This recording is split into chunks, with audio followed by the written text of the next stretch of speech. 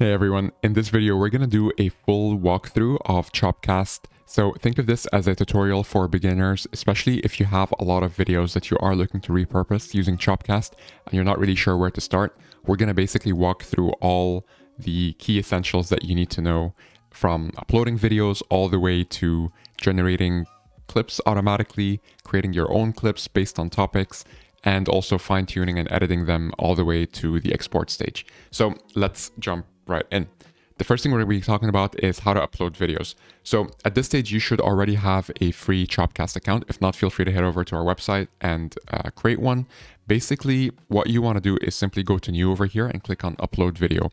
Right now, we support MP4 files as well as YouTube links, as well as MP3 files. So whether you have a YouTube link that you want to copy and paste or upload an MP4 or even MP3 file from your computer, you'll be able to do so here very easily.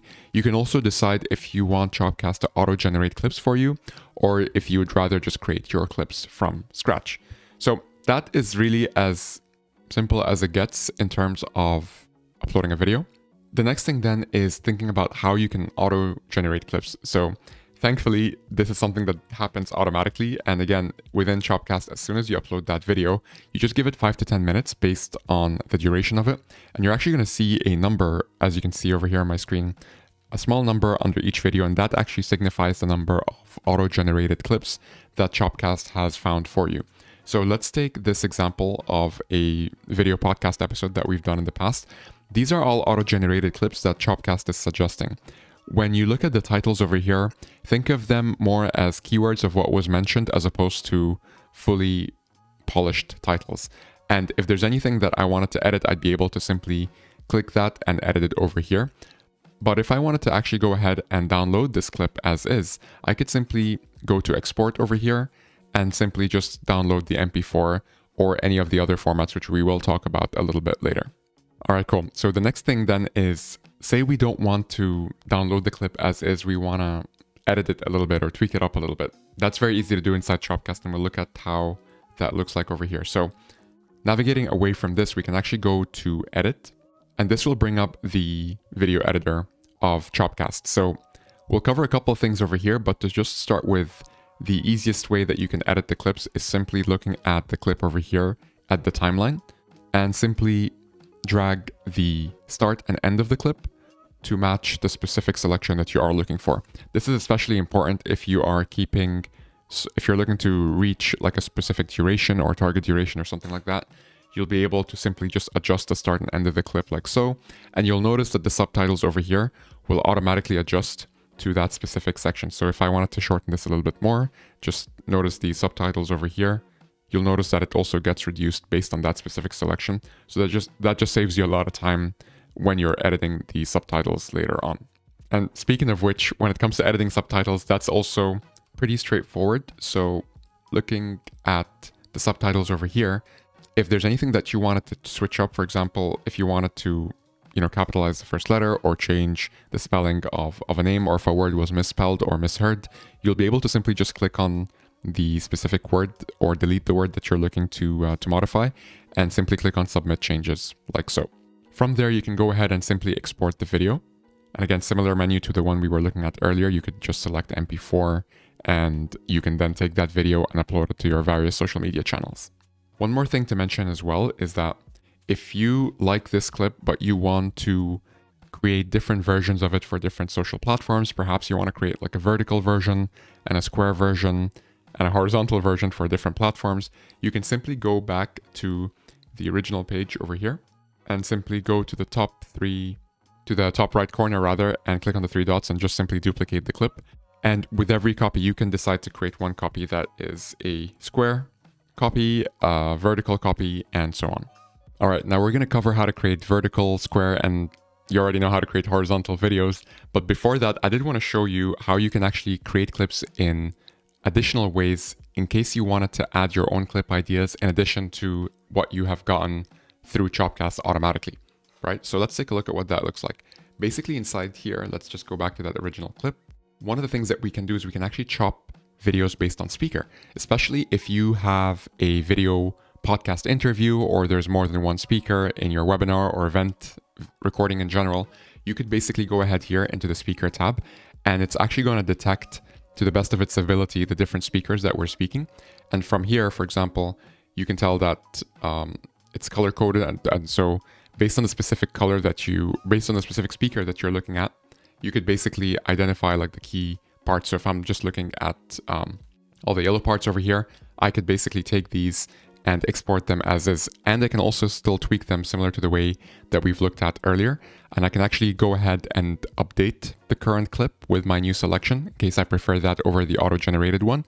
Or if I want to keep the auto-generated one and actually want to create this as a separate clip, I can go ahead and click on create new clip over here and then I can just start editing that separately. So this is a super handy way to just be able to almost have x-ray vision and look into the video and see who was speaking rather than just like trying to skim through the video at like 2x speed to see, oh, there's another speaker or there's another speaker. This is a very quick way to be able to visualize that right away. All right, cool. The next thing then, similar to that, is creating clips, but this time using topics and keywords. Perhaps you are already pretty familiar with the video and you know, for example, the top three to five topics that you are looking to extract from that video.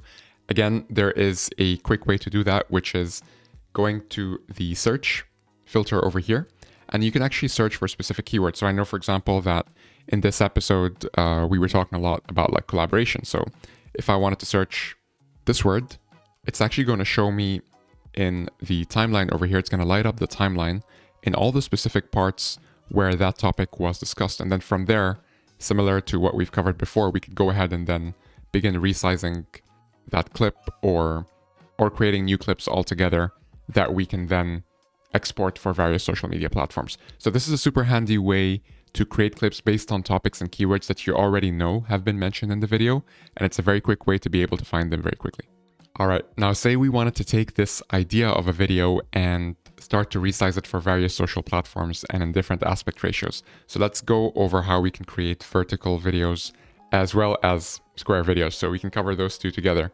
So very, very straightforward. All you need to do is just go into the top right corner here and resize this to 9 by 16, which would give you a vertical format, or 1 by 1, which would give you a square format. In case you see the subtitles showing up like this, you can simply just refresh it just in case, and it will automatically adjust.